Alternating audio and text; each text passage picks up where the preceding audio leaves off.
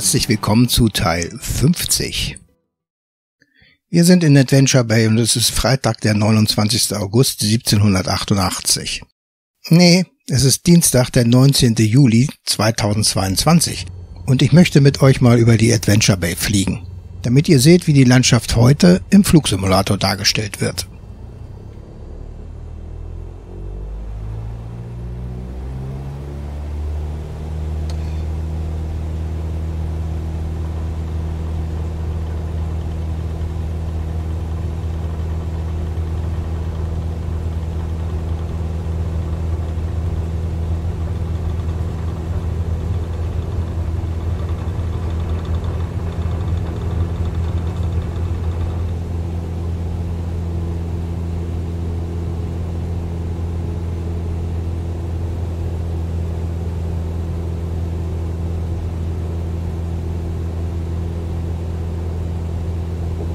Es ist wolkig und grau und wir müssen bedenken, dass zu dieser Jahreszeit hier unten Winter ist.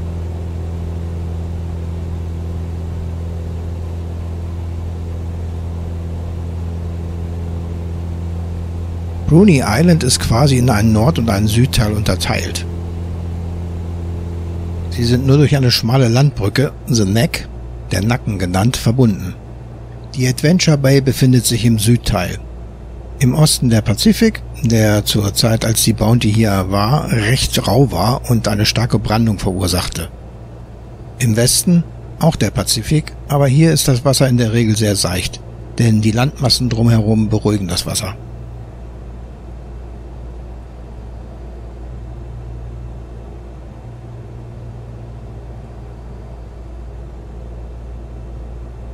Von hier bis Adventure Bay ist es noch ein Stückchen. Bei ihrem Aufenthalt haben sie ja einige Obstbäume und auch Kartoffeln gepflanzt. Der Plan, was wo gepflanzt wurde, von dem Blei ja sprach, ist leider nach der Meuterei verloren gegangen. Aber man vermutet, dass die Bounty in der sogenannten Quiet Corner, also der ruhigen Ecke hier, die Kartoffeln gepflanzt hat. Und Apfelbäume gibt es hier auch.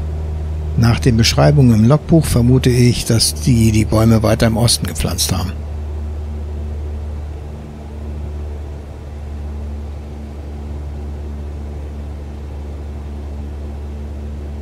Hier ist übrigens Fluted Cape und die Pinguininsel.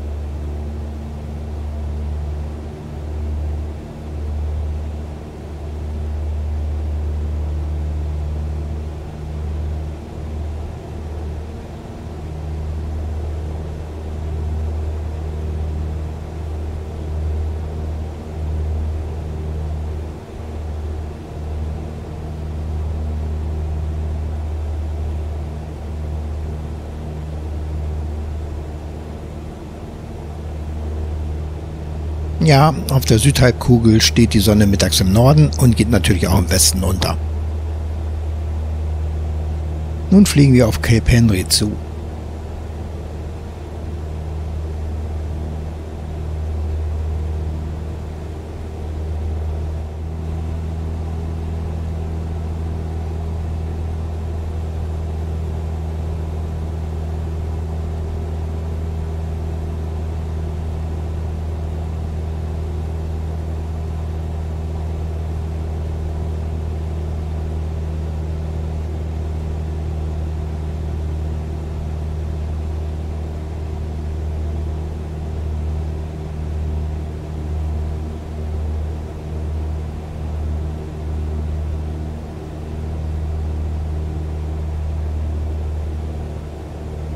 Jetzt ist es Zeit zu landen.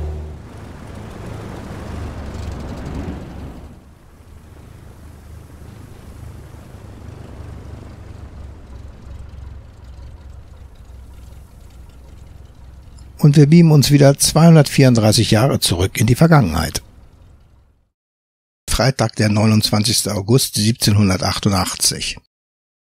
Mäßig bewölkt mit Regenschauern, Donner und Blitzen im ersten und mittleren Teil. Im letzten starke Stürme und dickes Regenwetter. Fische wie gewohnt mit Haken und Leine gefangen. Heute Nachmittag hatte ich die Absicht, auf der Pinguininsel anzulanden. Aber das Wetter war sehr stürmisch und regnerisch, weshalb ich es nicht machte. Auf meinem Weg habe ich zwei Basttäupel geschossen. Diese Vögel sind etwa so groß wie ein europäischer Bastöppel, von einem wunderschönen Weiß mit Ausnahme der Flügelspitzen und des Schwanzes, die schwarz sind, und der Ober- und Hinterkopf aus einem sehr feinen Gelb. Füße sind schwarz mit vier Krallen, die jeweils eine gelbe Linie über die gesamte Länge des Fußes haben. Der Schnabel ist spitz zulaufend und sehr stark und etwa vier Zoll lang, ohne Nasenlöcher. Wir haben mehrere Wildenten und Austernfischer gesehen, aber diese obwohl sie mit einem roten Schnabel fast die Größe haben wie am 23. beschrieben, haben sie ein vollständig schwarzes Gefieder. Der Wald auf dieser Seite der Bucht ist nicht annähernd so dicht wie in allen anderen Teilen davon. Daher habe ich beschlossen, einige Obstbäume zu pflanzen. Und für das, was ich sonst noch hier lassen muss, ist diese Seite der anderen vorzuziehen. Insbesondere da Mr. Nelson versicherte, dass dies der Ort sei, der dafür am besten geeignet ist. Was sehr gegen alle Erfolge spricht, ist, dass bei trockenem Wetter, wenn die Eingeborenen ein Feuer machen, es das Gras und Unterholz erreicht und alles zerstört, was heißes Feuer nicht ertragen kann. Selbst viele große Bäume werden dadurch zerstört. Ich kehrte sehr durchnässt an Bord zurück und konnte den Rest des Tages keine Arbeit mehr erledigen, außer das Schiff zu reinigen. Temperatur mittags 11 Grad. Samstag, 30. August. Sehr starke Stürme und Regenwetter mit Blitzen in der Nacht. Unser Wasser war jetzt auf 41 Tonnen aufgefüllt. Am Vormittag gab es einige klare Intervalle, die optimal genutzt wurden. Ich ging mit Mr. Nelson zur Ostseite der Bucht und pflanzte drei schöne junge Apfelbäume in wachsendem Zustand. Neun Weinreben, sechs Kochbananen, eine Reihe von Orangen und Zitronensamen, Kirschkerne, Pflaumenkerne, Pfirsiche, Aprikosen und Kürbisse. Auch zwei Arten von indischem Mais und Apfel- und Birnenkirnen. Der Boden ist bewundernswert an die Bäume angepasst, da es sich um reichen Mergelboden handelt. Das ist kalk- und tonhaltiger Boden. Deshalb wurden die Standorte fern vom Unterholz gewählt. Für die großen Bäume wurde dort freigeschnitten, wo sie gepflanzt wurden.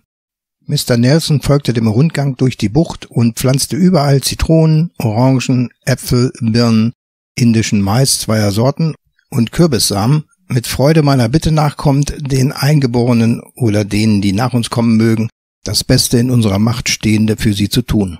Wenn sie gleichen Erfolg haben und es mit gleicher Mühe und dem Willen gelingt, sie zu erhalten und zu pflanzen, wird dieser Teil des Landes reichlich bestückt sein. Ich werde ihre Lage in meinem Plan dieses Ortes beschreiben.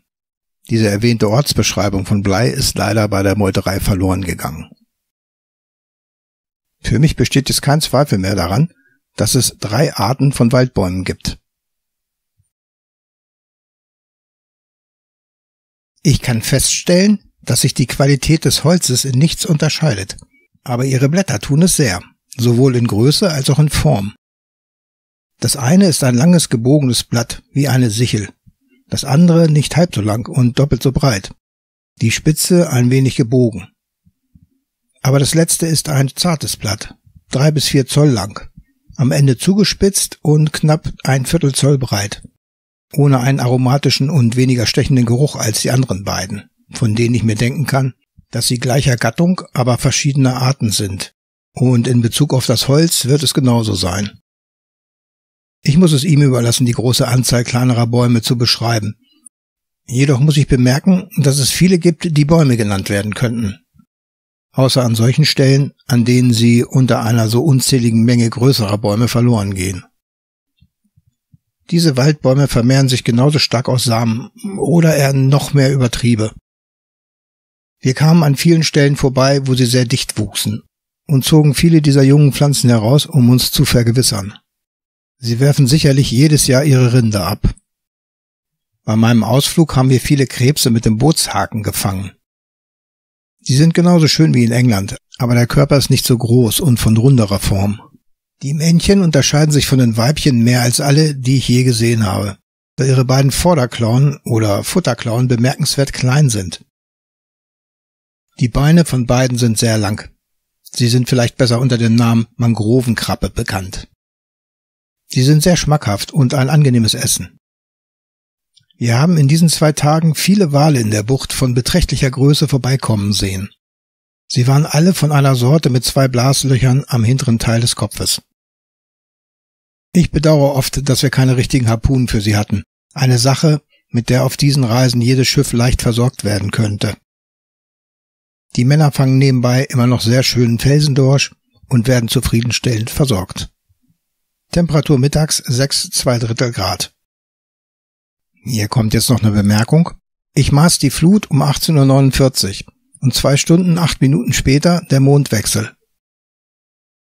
Hier bei diesem letzten Satz war ich mir erst nicht sicher, was er meinte, aber eine Recherche der Ephemeriden ergab, dass ziemlich genau zu der von ihm genannten Zeit am 30. August 1788 Neumond war. Ich pack mal einen Link in die Beschreibung für ein Astronomieprogramm, mit dem man einen realistischen 3D-Himmel, so wie man ihn an einem frei wählbaren Zeitpunkt und Ort im Realen sehen kann, beziehungsweise konnte, am Computer darstellen kann.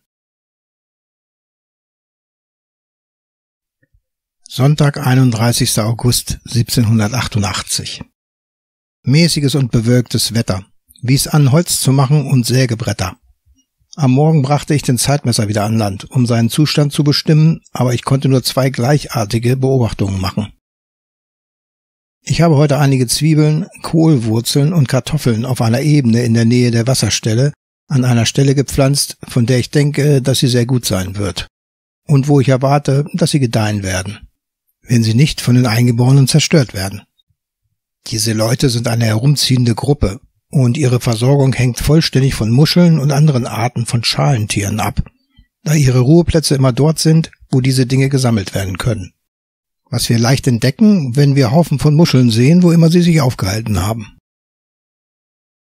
In früheren Aufzeichnungen über diese Leute wurde angenommen, dass sie ihre Behausung häufig in den zu diesem Zweck von Feuer ausgehöhlten Baumstämmen errichten. Aber es ist mir, als ich früher hier war und auch jetzt, so nicht aufgefallen. Ich habe dies gründlich überprüft, ohne irgendwas zu entdecken, was mir diese Meinung bestätigen könnte. Meine gegenteiligen Ideen beruhen hauptsächlich auf den Gründen, dass die durch Feuer im Stamm ausgehöhlten Bäume insgesamt nur Platz für ein oder zwei oder drei Menschen haben die sich dort hineindrängen und sie nicht vor dem Wetter schützen. Und niemand jemals den geringsten Anschein von irgendwas gesehen hat, das zum Schutz vor der Öffnung lag. Dass es in der Nähe dieser hohlen, verbrannten Bäume viele Stellen gibt, an denen Wigwams erstellt werden, und dass der Baum natürlich nicht als Unterschlupf gedient haben kann. Dass ihre Wigwams so gebaut sind, dass sie die volle Länge ausnutzen, der Boden eben gemacht und überall mit Gras bestreut ist und das Dach so mit großen Rindenstücken versehen ist, dass es bei regnerischem Wetter innen vollkommen trocken ist. Aber die Mulde im Baum hingegen ist durch das Verbrennen der Wurzeln so ineben, dass es unbequem ist, sich darin hinzusetzen. Und was noch mehr dagegen spricht, der ganze Baum ist ein Wasserleiter hinab in diese Mulde. Ich nehme daher an, dass sie als Feuerstelle benutzt werden und nichts anderes.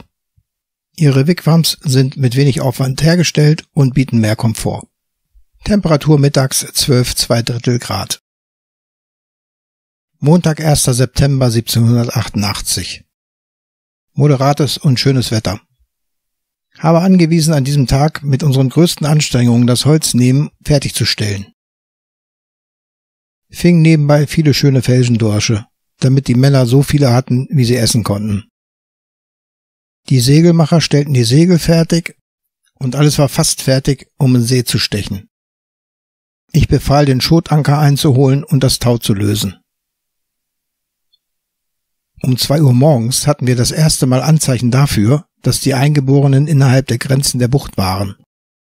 Mir wurde gesagt, dass Feuer im flachen Land und in der Nähe von Cape Frederick Henry gesehen wurden.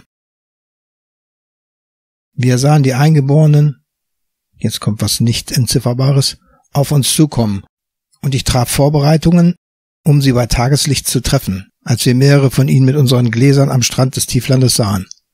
Der Morgen war klar, und ich ging an Land und machte Beobachtungen für die Gangrate meines Zeitmessers, wobei ich jeden Moment erwartete, die Eingeborenen zu sehen. Aber wir sahen keinen, der sich uns näherte. Ich wäre zu ihnen gegangen, aber das Meer vom Süden erzeugt eine so starke Brandung am Strand, dass es für jedes Boot völlig unmöglich war, an Land zu gehen.